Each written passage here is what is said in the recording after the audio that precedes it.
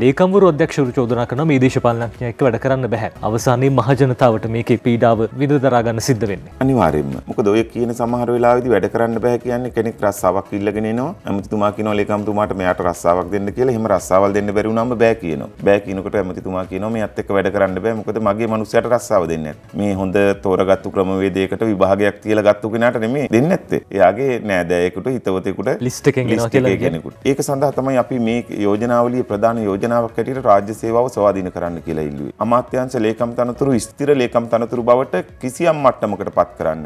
අපි සම්පූර්ණයෙන්ම කියන්නේ නිලධාරීවාදයට ඉඩ දෙන්න කියලා. ඒකත් ඊට එහා ගියපු ගැටලුවක් වෙන්න පුළුවන්. වැරදි නිලධාරියෙක් කොයි හරි වෙලාවක නියමිත ක්‍රමයට ඇවිල්ලා පත් වුණත් ඒ නිලධාරියාගේ අත්නෝමතික ක්‍රියාකලාප නිසා ඒ ආයතන විනාශ වෙන්න පුළුවන්. නමුත් කිසියම් වූ ප්‍රශස්ත මට්ටමකට රාජ්‍ය සේවාව ස්වාධීන කරන්න ඕනේ. ඒ ස්වාධීනත්වය හරහා අමාත්‍යංශ ලේකම්වරුන්ට සහ අනිත් අයට බලයක් ලැබෙනවා. ඒ කටයුතු වල යෙදෙන නිලධාරීන් ඉවත් කරන්න, ඔවුන්ට දඬුවම් කරන්න සහ ඔවුන් පිළිබඳව ක්‍රියාමාර්ග ගන්න. ආර්ථිකා සමාජයේ පුනර්ජීවනය සඳහා ඉදිරිපත් කරනු ලබන කඩිනම් යෝජනාව තුළ ඇතුළත් කරා.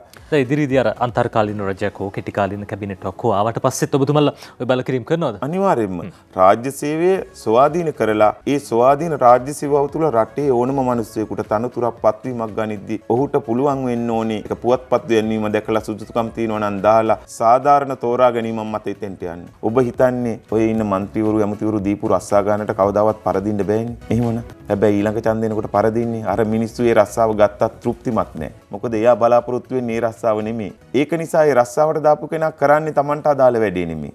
බලහත්කාරයෙන් එක කරව ගත්තා. පාර්ලිමේන්තු මන්ත්‍රීව බවට පත් වෙන්න ඕනේ මොකටද? ප්‍රාදේශීය ලේකම්වරයාට ගිහිල්ලා උපදෙස් දෙන්නවත්, විදුහල්පතිවරයාට ගිහිල්ලා ළමයි දාන විදිය කියලා දෙන්නවත් නෙමෙයි. ඒ සඳහා තමයි ජනාධිපතිවරයා තමුක අමාත්‍ය මණ්ඩලය තියෙන්නේ. මේ සමස්ත යාන්ත්‍රණයම මේ වැරදි ලෙස ගමන් කරපු එක මේ මොහොතේ අනිවාර්යෙන් නිවැරදි කළ යුතුව තිබෙනවා, නිවැරදි විය යුතුව තිබෙනවා.